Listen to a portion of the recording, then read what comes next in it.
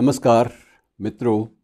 आज़ादी के अमृत महोत्सव के सिलसिले में हमने जो एकल काव्य पाठ श्रृंखला आरंभ की है, आज उसमें एक और विलक्षण प्रतिभा वाले व्यक्ति को आपके सम्मुख प्रस्तुत कर रहा हूँ और वो व्यक्ति हैं तेजेंद्र शर्मा।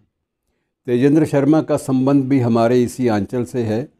जन्म है जगराओं का है, उन्नीस सौ बावन का है और इस समय न केवल एक साहित्यकार के रूप में, बल्कि एक पत्रकार के रूप में और इसके अलावा बहुत सारी साहित्यिक गतिविधियों के केंद्रीय वक्ता के रूप में उनका नाम चर्चा में बना रहा है निरंतर और विशेष रूप से जब भी प्रवासी दिवस मनाया जाता है तब उनको ज़रूर अवश्य याद किया जाता है।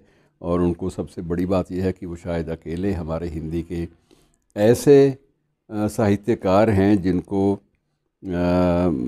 ब्रिटेन सरकार ने भी इनको सम्मानित किया है और हिंदी साहित्य सेवा के लिए M B E M B बहुत बड़ी बात होती है साहित्य के क्षेत्र में हमारे अंचल में किसी को नहीं मिला। और इन्हें इस अलंकार से सम्मानित किया गया ब्रिटेन की तत्कालीन महारानी द्वारा। और इसके अलावा बाकी हरियाणा साहित्य अकादमी है, महाराष्ट्र की साहित्य अकादमी है, हिंदी संस्थान है, उत्तर प्रदेश का। तो बहुत सारी संस्थाओं की एक लंबी फहरिस्त है जिन्होंने इनको समय समय पर सम्मानित किया है मित्रों। तो ऐसे प्रतिभावान और अलग अलग विधाओं में अधिकार पूर्ण ढंग से अपनी भूमिका निभाने वाले तेजेंद्र शर्मा को आज मैं एकल कविता पाठ के लिए आपके सम्मुख प्रस्तुत कर रहा हूँ। सगर्व, और मुझे उम्मीद है कि आपको पसंद आएँगी उनकी कविताएँ और उनका तेवर। धन्यवाद। धन्यवाद, डॉक्टर साहब। आपने मुझे मौका दिया कि आज़ादी के समृत महोत्सव पर एकल कविता पाठ के लिए शामिल हों और अकादमी के जो हमारे पाठक हैं, श्रोता हैं, उन सबसे मुखातिब हो सकूँ। दरअसल एक लंबे अरसे से मैं जुड़ा हूँ अकादमी से, मगर मैं देख रहा हूँ कि पिछले डेढ़ दो साल में मेरा जो दोबारा जुड़ाव शुरू हुआ है अकादमी से, उसमें मैं अकादमी के बहुत सारे ऐसे काम समझ पा रहा हूँ, देख पा रहा हूँ, जो शायद पहले नहीं होते थे। और आज अकादमी जिस तरह से हिंदी साहित्य को सही मायने में पूरे राष्ट्रीय और अंतर्राष्ट्रीय पटल पर रख रही है, मैं उससे बहुत प्रभावित हूँ और आपको धन्यवाद देता हूँ और शुभकामनाएँ भी। ये जो काम आपने शुरू किया और आपकी जो पूरी टीम ने शुरू किया है, वो इसी तरह आगे बढ़ता रहे। आपने इस अवसर पर मुझे कविताएँ पढ़ने को कहा है। तो पहली जो कविता है, वो कुछ इस तरह से है कि, तमाम उम्र गुजारी तलाश में तेरी। भगवान से मुखातिब हूँ, भगवान से बात कर रहा हूँ कि, तमाम उम्र गुजारी तलाश में तेरी, छुपा हुआ है मेरे दिल की धड़कनों में तू। तमाम उम्र गुजारी तलाश में तेरी, छुपा हुआ है मेरे दिल की धड़कनों में तू, पुकारता रहा मैं आरती अजानों में।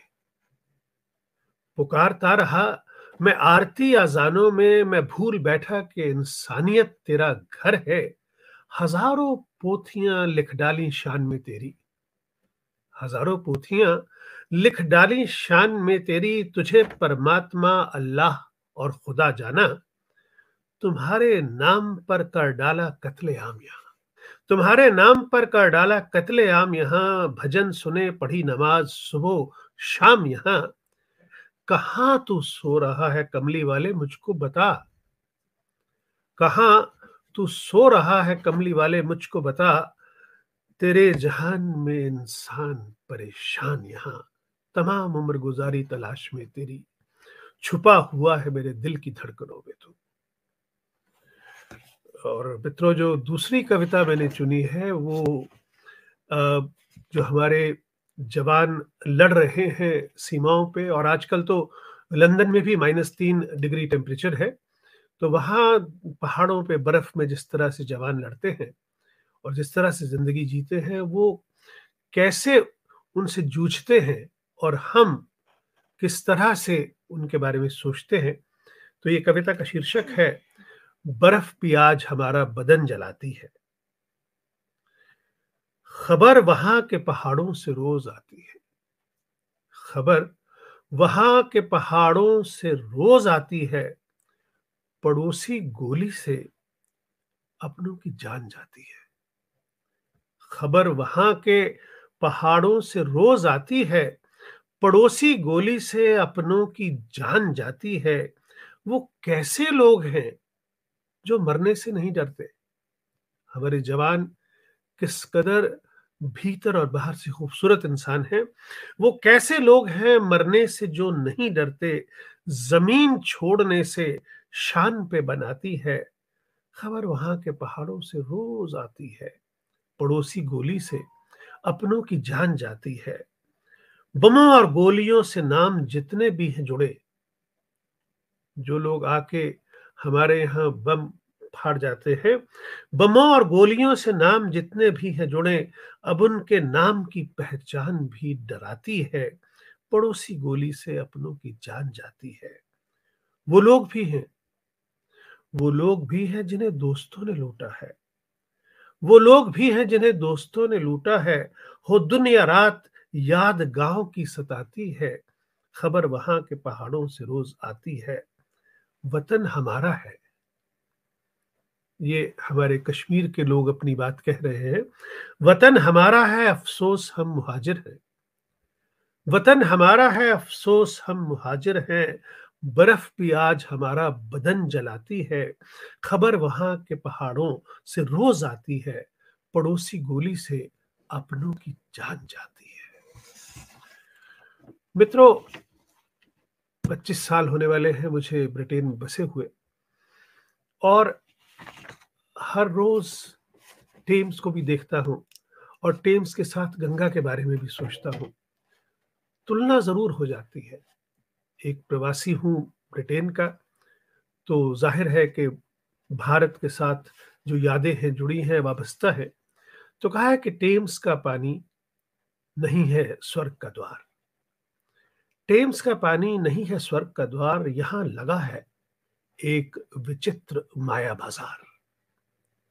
पानी है मटियाया, पानी है मटियाया, गोरे हैं लोगों के तन।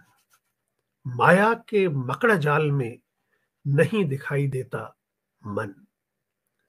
टीम्स कहाँ से आती है? कहाँ चली जाती है? ऐसे प्रश्न हमारे मन में नहीं उठा पाती है। देखिए, भारत में सब जानते हैं कि गंगा आए कहाँ से? गंगा जाए कहाँ रे? मगर यहाँ टेम्स कहाँ से आती है? टेम्स कहाँ चली जाती है? ऐसे प्रश्न हमारे मन में नहीं उठा पाती है। टेम्स बस है। अपनी जगह बरकरार है। कहने को उसके आसपास कला और संस्कृति का संसार है। टेम्स कभी खाड़ी है तो कभी सागर है। क्योंकि लंदन में टेम्स आके सागर में मिलती है। तो टेम्स कभी खाड़ी है तो कभी सागर है। उसके प्रति लोगों के मन में न श्रद्धा है, न आदर है। उसके प्रति लोगों के मन में न श्रद्धा है, न आदर है। ये खास पंक्तियाँ हैं कि बाज़ार संस्कृति में नदियाँ नदियाँ ही रह जाती हैं। बाज़ार संस्कृति में नदियाँ नदियाँ ही रह जाती हैं, बनती हैं व्यापार का माध्यम, माँ नहीं बन पाती है। बाज़ार संस्कृति में नदियाँ नदियाँ ही रह जाती हैं, बनती हैं व्यापार का माध्यम, माँ नहीं बन पाती हैं। थेम्स दशकों, शताब्दियों तक करती है गंगा पर राज। थेम्स दशकों शताब्दियों तक करती है, गंगा पर राज फिर सिकुड़ जाती है और ढूंढती रह जाती है अपना ताज। फिर सिकुड़ जाती है और ढूंढती रह जाती है अपना ताज। थेम्स दौलत है। थेम्स दौलत है, प्रेम है गंगा। थेम्स ऐश्वर्य है, भावना गंगा। थेम्स दौलत है प्रेम है गंगा, थेम्स ऐश्वर्य है, भावना गंगा, थेम्स जीवन का प्रमाद है, मोक्ष की कामना है गंगा। जी लगाने के कई साधन है टेम्स नदी के आसपास। जी लगाने के कई साधन है टेम्स नदी के आसपास। गंगा मैया में जी लगाता है हमारा अपना विश्वास। हम जब जाते हैं गंगा जी के किनारे तो हर इंसान गंगा जी कहता है। केवल गंगा कोई नहीं कहता। तो टेम्स का पानी नहीं है स्वर्ग का द्वार, यहाँ लगा है एक विचित्र माया बाज़ार। तो मैं, मित्रों हरियाणा साहित्य अकादमी का डॉक्टर चंद्र त्रिखा का और उनकी पूरी टीम का धन्यवाद करता हूँ कि मुझे मौका मिला कि आज़ादी के समृद्ध महोत्सव पर मुझे आप सबको अपनी रचनाएँ सुनाने का मौका मिला। बहुत बहुत शुक्रिया। धन्यवाद।